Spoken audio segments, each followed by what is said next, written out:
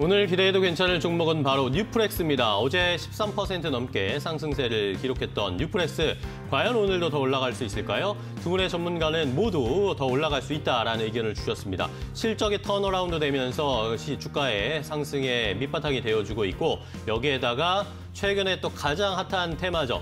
메타버스에 올라탄 이 종목 뉴프렉스 더 상승할 수 있겠다라는 두 분이 공통적인 의견을 주셨습니다. 과연 오늘도 시세를 보여줄 수 있을지 뉴프렉스 자세하게 분석해 보도록 하겠습니다.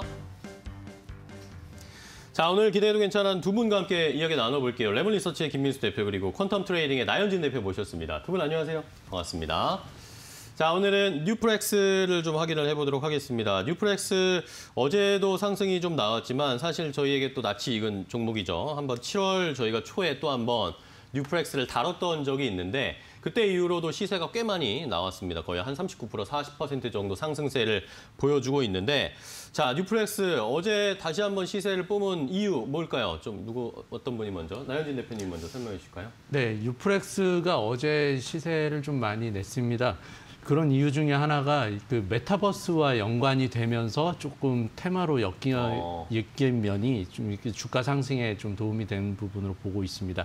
그러니까 메타버스가 예전에는 처음 뭐 로블록스를 비롯해서 이제 뭐 게임에 좀 치중이 됐다면 네네. 이제부터는 메타버스를 활용한 컨텐츠가 계속해서 많이 나올 거고 그럼 컨텐츠를 활용한 이제 하드웨어 쪽에도 좀 집중해 볼 음. 필요가 있습니다.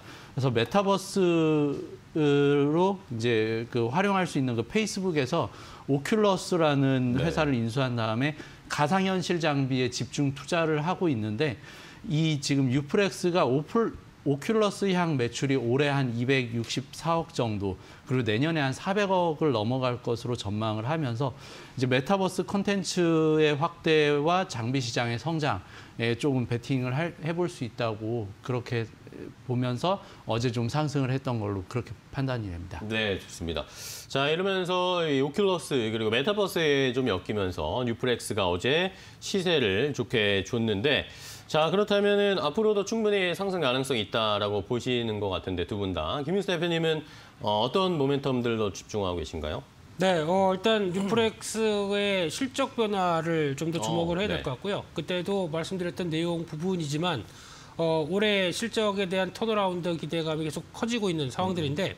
대표적으로 어, FPCB 중에서 좀 특별한 분야, 어, 특히 MPCB라고 하는 쪽인데 음. 이쪽은 이제 메탈 회로기판이라고 볼 수 있는 상황들이고요. 네네. 이쪽에 주력을 하다 보니까 조금 더 부각을 받는 부분들이 어, 높은데 게다가 이제 삼성전기 쪽에서 이제 카메라용 FPCB를 외주화하는 경향들이 좀 커진 상황들이고요. 음, 네. 게다가 주요 경쟁사들도 이거 그렇게 크게 돈 안 되겠다 싶다 음. 보니까 어, 어떤 물량을 좀 축소하는 과정이 이어지는 쪽에서 반사익을 좀 보는 상황들이고요.